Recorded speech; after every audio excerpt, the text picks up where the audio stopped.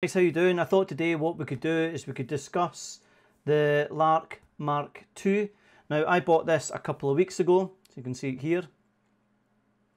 And the reason I bought it was because I bought it for wedding films. And there was a couple of reasons. One was because of the size. The size of this is really compact, really small. And you can buy it in a combo which comes with a USB-C connection for either the Osmo Pocket 3, which I'm using just now here, or you can have the other connection that goes onto an iPhone or Android. You can plug into the Android as well. So the reason that I bought these was because purely they're compact. Now they don't have 32 float and they don't have internal recording. But for me, it was a small price to pay to have a mic on a bride. Now I know there's a lot of people that do wedding films that will put mics on brides. They'll either put, you know, a, a, a Rode mic on, or they might have a Tascam with a, a lavalier mic that they, they, they, they, you, you put up the dress and all this kind of stuff. But for me, you know, the problem with weddings is everything's completely fast paced, and it also depends on the bride. So there's times where I've managed to get mics on brides, and there's times I've not managed to get mics on brides. And what we've had to do is rely on the groom's mic to pull out the audio post it and you know boost it in post production. So when I seen the Lark Mark II, I knew as I say it didn't have 32 internal and I knew it didn't have internal recording, but the quality that it sounded from these videos I thought was was worth the the purchase. So I thought, well, I've got nothing to lose by by doing it. So this wedding that I'm going to show you, you can you can hear the audio from the bride and groom. This is direct to an iPhone which was doing a live feed on TikTok. So what I did is I actually just copied the, the live feed on TikTok, just downloaded it, and I've just put the audio on for you to, to hear it. And then you can let me know what you what you think.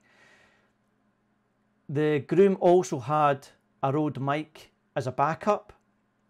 Because these don't have internal recording, I was worried that, you know, if, if for whatever reason, because I've just used them for the first time, that they failed, I still had a, a Rode mic backup on the Groom. The Humanist had the DJI Mic 2 on a magnet and we hid that in her dress so really you couldn't see that either. But for me, I really, really like these mics um, because of the size.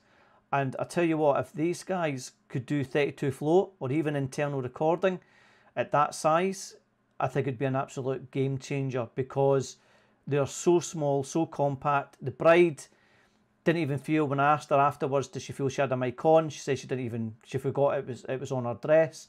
Whether before I would have had to clip something, or as I say, she'd have ended up having wires going up her back and, and round the strap and, and all this kind of stuff. Um, so let me know what you think. I'll play it now.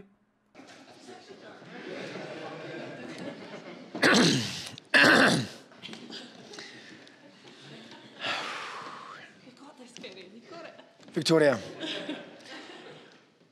I love, how, I love how active and adventurous you are, from running the New York Marathon with no training, climbing multiple, multiple Munros, or conquering winter hills in the worst possible weather.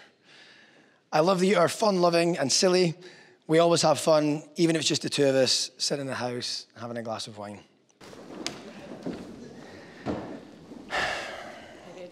No. Kenny, I love your boundless energy and your enthusiasm for life is infectious. You inspire me, you challenge me, and you remind me to always find the fun in life. Whilst I love our adventures, some of our best memories have been when we were doing nothing at all.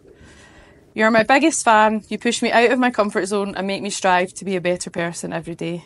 I promise to never forget that this is a once in a lifetime kind of love, and that no matter what challenges might carry us apart, we will always find our way back to each other. I promise to love you unconditionally, and I can't wait for all our adventures together. And I know that as long as I'm with you, I am home. Kenneth Joseph Nichol, I love you. So there you go. Um, you can hear the the you can hear the audio from Kenny, and you can hear the audio from from Victoria.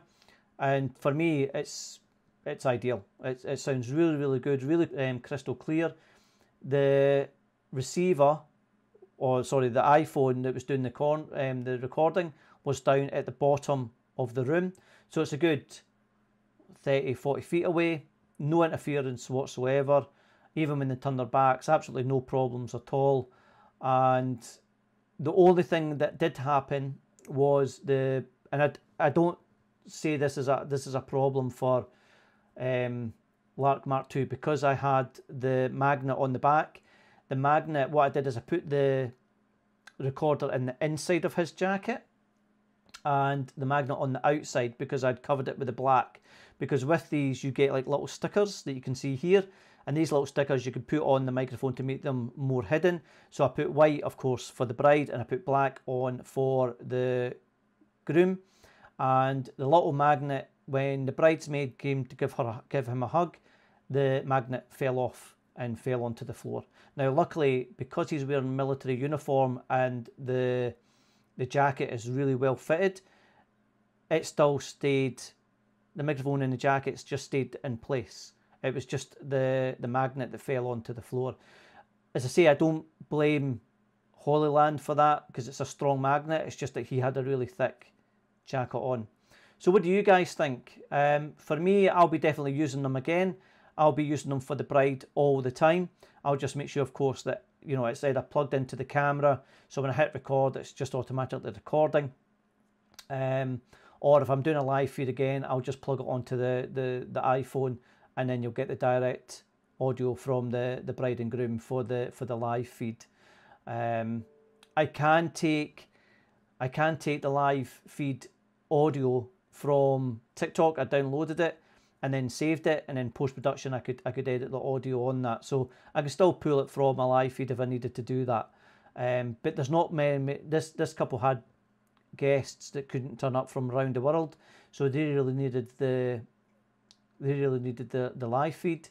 But for me, um, I would probably use them all the time now, but still have a backup mic on the groom for you know, should anything go wrong with these mics. But then I do that anyway. I always have either the, the Tascam and a Rode mic on the groom. Um, so for me, I'm just replacing one with the, the other. I'll probably, in all honesty, replace the the Rode mic and keep the Tascam with a lavalier mic on and have this little mic as well. I, I really like them, but let me know what you guys think in the in the comments. Thanks very much for watching, and see you next time.